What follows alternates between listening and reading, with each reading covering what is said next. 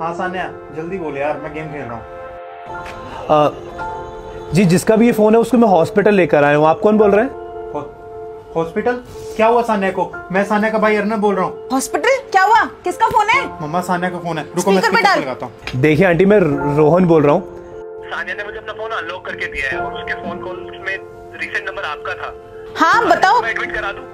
वो ठीक है ना? अरे उसको क्या उसको फ़ोन दो मैं बात करती हूँ। फ़ोन दो उसको। देखिए आंटी वो भी बेहोश। बेहोश? करना अरे क्या हुआ उसे? आंटी वो मुझे नहीं मालूम बट डॉक्टर ने कहा है कि उसे अभी एडमिट कराना पड़ेगा। अरे तो करवाओ ना हाँ। एडमिट जल्दी करवाओ। हम लोग बस निकल रहे हैं बेटा। आंटी आप मुझे उसकी पूरी डिटेल्स भेज दीजिए। जैसे नाम और एड्रेस वगैरह मैं फॉर्म फिल कर देता हूँ। मैं भेज देता हूँ सारी हाँ तुम्हें जो भी चाहिए हम हम करते हैं अभी। हाँ आंटी लेकिन एक प्रॉब्लम है। मैं तो अपने काम से घर घर से बाहर निकला था।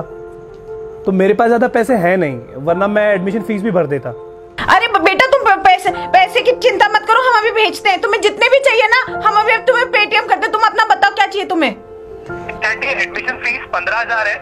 मेरे पास दो हज़ार थे मैंने भर दिए। अरे बेटा इस जमाने में कोई इतना नहीं करता। तुम बस कर दो हम तुम्हें पेटीएम करते हैं। अर्नब रोहन तुम अपनी बस हाँ, बैंक डिटेल्स चलो, भेजो मैं अभी पेटीएम कर देता हूँ। मैं आपको कर रहा हूँ। जी। ठीक है आंटी? आप आइए मैं आपका वेट करता हूँ। तू बस पेटीएम कर दे जो भी वो बोल रहा है जितना बोल रहा है तू बस कर दे। हम लोग निकलते हैं। हाँ ठीक है बस चल चल जल्दी चल जल्दी चल। हाँ पापा भी आ गए। हाय भैया। सान्या।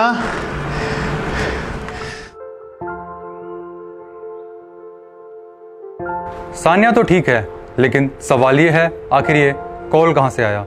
जी हाँ ये एक नए तरीके का साइबर क्राइम है। जिसमें ऑनलाइन फ्रॉड करने वाले, आपके करीबी दोस्त और परिवार वालों को आप ही के नंबर से फ़ोन करते हैं।